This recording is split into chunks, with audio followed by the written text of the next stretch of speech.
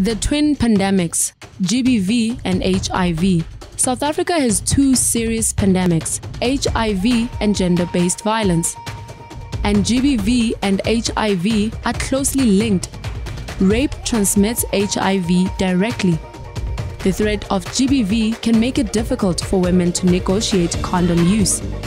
Testing positive for HIV can trigger violence against women living with HIV.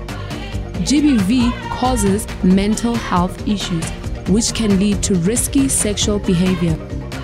Did you know experience of intimate partner violence increases the risk of HIV by up to 55%? Prevent HIV. Get health services immediately if you have been raped. You will be offered medicine to prevent you getting HIV from the rape. If you are experiencing violence and struggling to have safe sex with condoms, ask your clinic about PrEP, medicine that you take every day which prevents HIV. Find out more at www.myprep.co.za. If you're experiencing violence because you are living with HIV, get help from the police or a local NGO. PEP is one month of anti HIV medicine given to people who may have come into contact with HIV through rape, a needle, or a broken condom.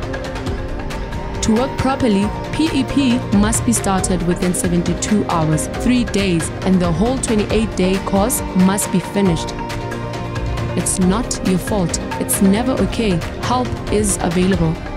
Childline 116 GBV Command Center 0800 428 428. National Shelter Helpline 0800 001 005.